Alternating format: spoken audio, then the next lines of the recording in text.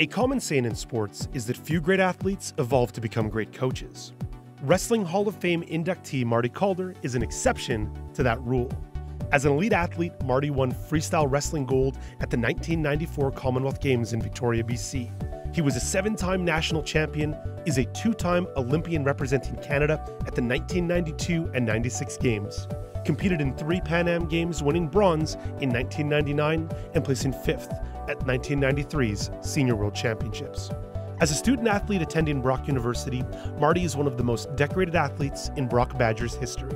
He was a five time OUA champion, a four time CIAU champion, and first team All Canadian while leading his team to the first national championship in school history.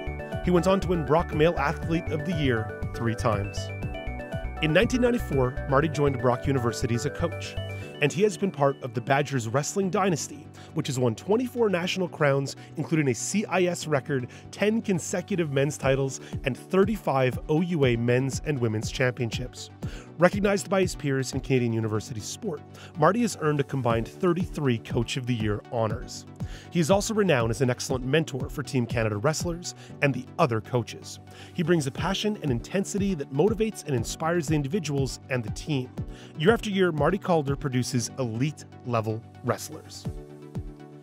At the Gold Coast 2018 Commonwealth Games, he coached wrestlers to five medals, including one gold, two silvers, and two bronze.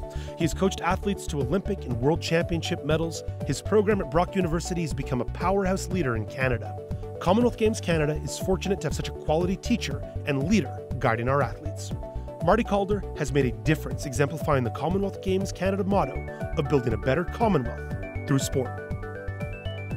Ladies and gentlemen, we are pleased to present the 2018 Canadian Commonwealth Sport Awards Sport Excellence Coach Award to Marty Calder.